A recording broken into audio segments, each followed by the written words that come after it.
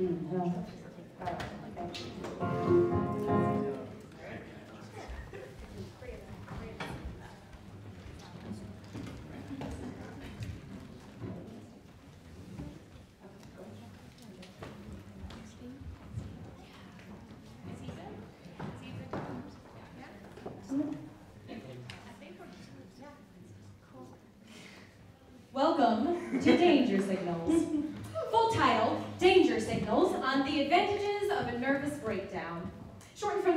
from the fuller title, Danger Signals on the Advantages of a Nervous Breakdown or a Few Neurotic Symptoms.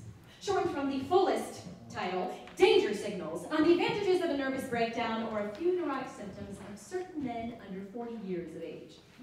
We decided to cut that last section in order to not unduly, even accidentally, even unintentionally add to the already disproportionate amount of attention given to men under 40 years of age. Certain men under 40 years of age. And so it became danger signals on the advantages of a nervous breakdown or a few neurotic symptoms. And then we decided to cut that middle section on account of it sounding sort of wishy-washy, perhaps, or unscientific. It sounded sort of like something that might be unkindly offered in a scribbled note by a lazy or overworked doctor in lieu of any real diagnosis. Any real diagnosis, leaving you to take the bus home once more, unsolved and without solution.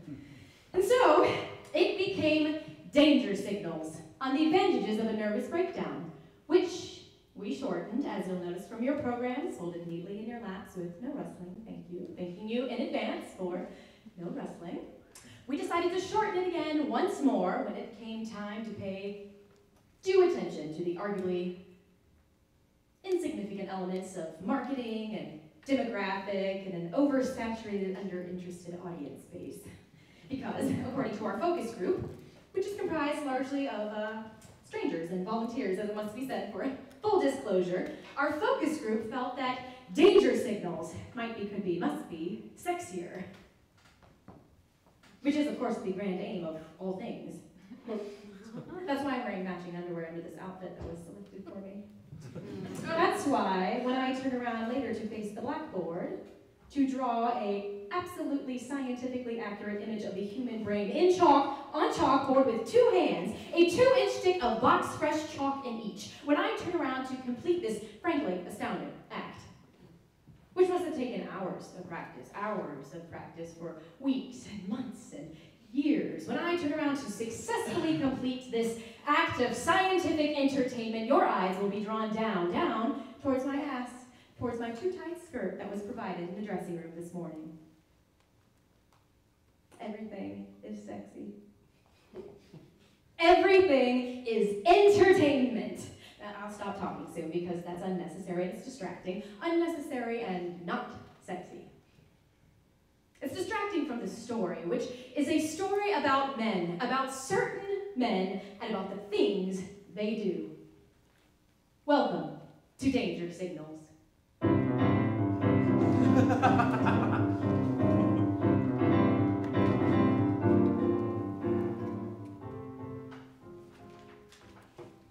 The front cover of the Walter Freeman biography by Jack El-Hai Refers to the notable proponent or father of the American lobotomy as a medical maverick. Now, a maverick is an unorthodox or an independent-minded person. It's also a baby calf. When Walter Freeman was a baby calf, he grew up in Philadelphia, Pennsylvania, and answered to the name of Walter Freeman II.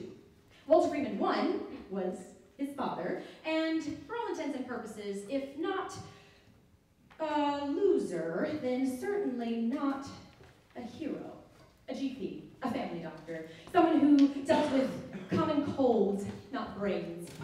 Walter Freeman one doesn't even have a Wikipedia page. Now, Wikipedia wouldn't be invented for centuries after Walter Freeman's one's birth, but it is important to live each day as though it one day might be recorded and scientifically distilled to a series of zeros and ones for bored college students or underprepared theater makers working to deadline. Walter Freeman one's own father whose name was actually William Williams Keen. Williams Keen. William Williams Keen. William Williams was the first American brain surgeon and at various times and the, through the employ of six American presidents.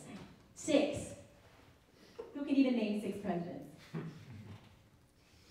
Please don't try. This isn't that kind of space.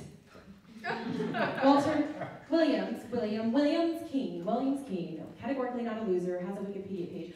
Walter Freeman, too, who we will now refer to as Walter Freeman or Maverick or Mav, grew up with a keen awareness of what it meant to be a loser and what a man must do to have a Wikipedia page, which is incidentally a website created and edited largely by men whose taken largely as fact content is updated and generated by 87% men, which according to the New York Times is attributed to women's general unapparent willingness to, quote, open to very difficult and high conflict people, even misogynists.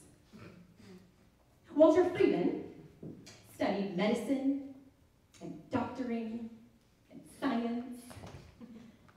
And some time passed, as it is wont to do when you are learning a real skill.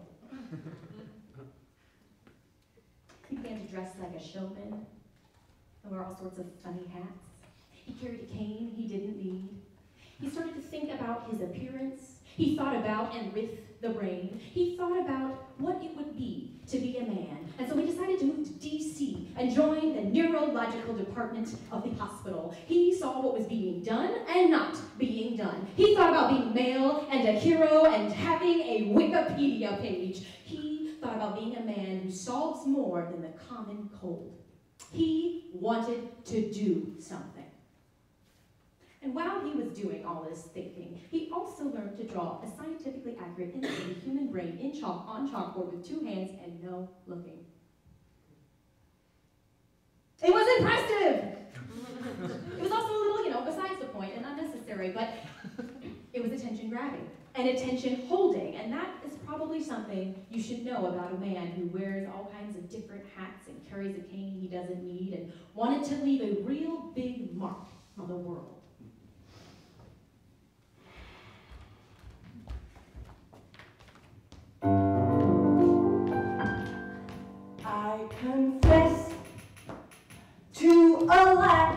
Of ambition.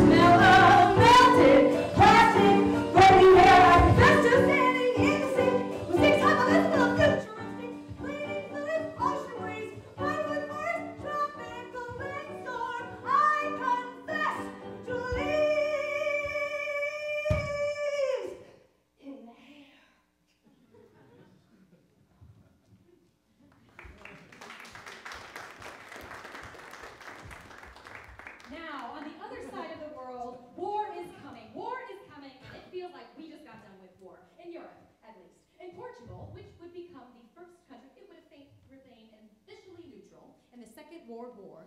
In Portugal, which was the first country in the whole world to decriminalize the use of all common drugs. In Portugal, a neurologist with a severe side parting by the name of Egas Moniz is also thinking about the brain.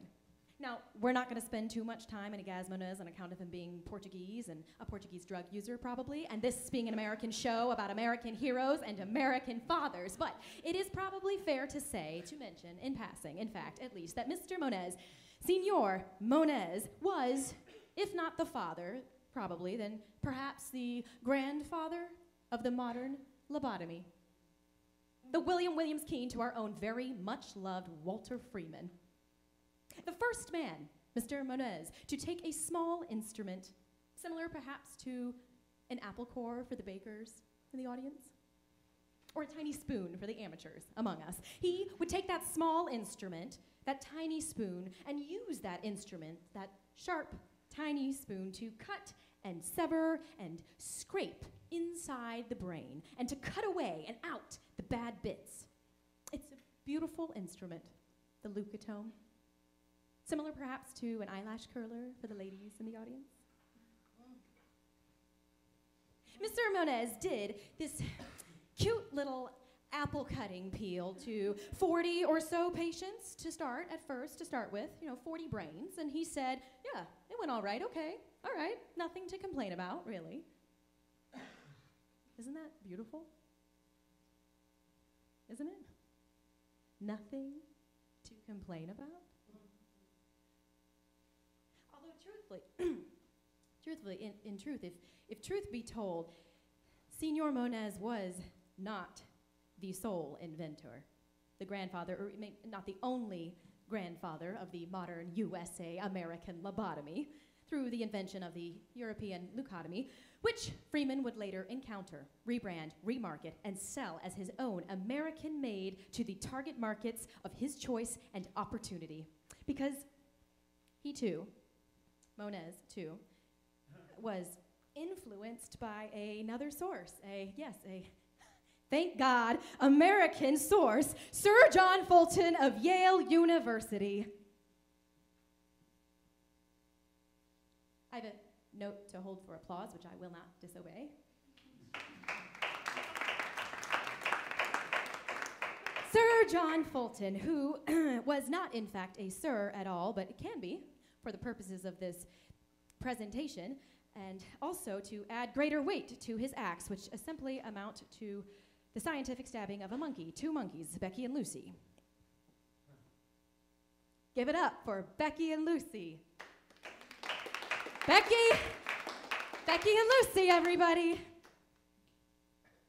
If you're expecting actual monkeys, there are no monkeys. There will be no monkeys. There are. This is an academic context where there are rules and boundaries, and you are expected to use your own imaginations, use your own goddamn prefrontal reasoning to not need to, not expect to, not be handed everything on a plate, every monkey on a plate.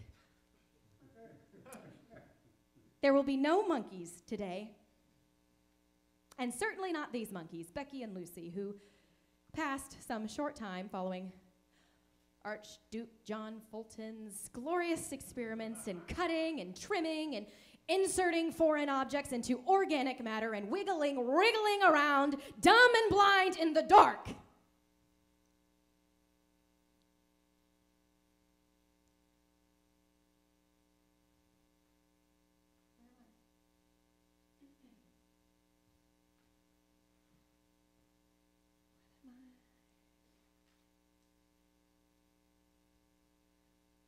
Becky Lucy. Becky and Lucy, who had their skulls drilled clean by an absolute hero of a man in fresh, clean scrubs and a smiling face with eyes that I don't like looking right up past the left corner of the photo. Becky and Lucy, who should have been grateful, really, must have been grateful if gratitude and sincere and meaningful gratitude can even be felt by a stupid, lolling female chimp, should be grateful to Lord Mayor Se- Senior John Fulton for rescuing them, for saving them, bringing them out into the light of day, reprieving them from their previous behaviors, their unacceptable behaviors, their, which included, once again, to Wikipedia, rolling and shitting on the floor. What the fuck, Becky? What in the actual fuck, Lucy? I mean, really, really, girls, ladies, really. Don't you know? Don't you know that that is the worst, the most unruly, the most unacceptable behavior on the book? Rolling and shitting and running around like animals in a cage? That's why we can't refer to you as the grandfathers or godfathers or ancestors of savage modern medicine, even if it was your sweet brains that were sliced. We can't. I'm sorry, ladies, don't look at me like that because my mind is made because you rolled and shit and probably got cranky at the time of the month, and your brains were passive, not active. They were receptive receivers. They were the object to be pierced, but not the object. So then, afterwards, after Signor Dauphin Fulton had the grace, the good grace, the goodwill, the godlike intellect, and aptitude to cut you open with a pizza slice with extra olives. After that, after you had time to recuperate, time to calm down, time in the afternoon for your movies and your soaps, didn't you feel much, much, much, much, much, much better?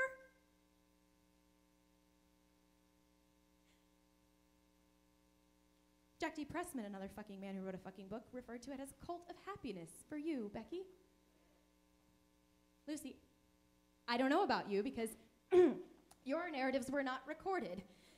You became a secondary female character, a best friend to Becky. An ugly plain best friend to Becky, the newly minted member of the. Fuck!